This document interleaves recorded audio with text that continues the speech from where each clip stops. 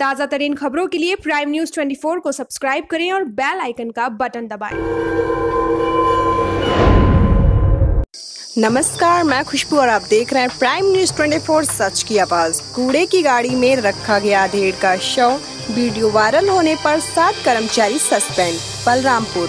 आपको बताते चलें कि सोशल मीडिया पर एक वीडियो वायरल हुआ था, जिसमें एक शव के साथ की गई संवेदनहीनता साफ़ साफ़ नज़र आ रही थी।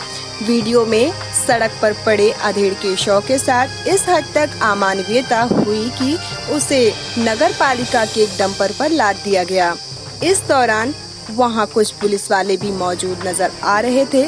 माना जा रहा है कि अधेड़ के उस शव के साथ ऐसा दुर्व्यवहार कोरोना संक्रमण के डर की वजह से किया गया था।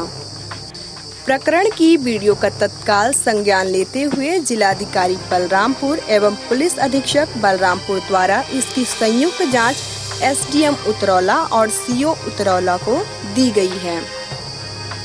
उपरोक्त वीडियो में दिख रहे पुलिस के एक उप निरीक्षक रविंद्र कुमार रमन, दो आरक्षियों शुभम पटेल और शैलेंद्र शर्मा तथा चार नगर पालिका के कर्मचारियों को प्रथम दृष्टिया दोषी बताते हुए तत्काल प्रभाव से निलंबित कर दिया गया है।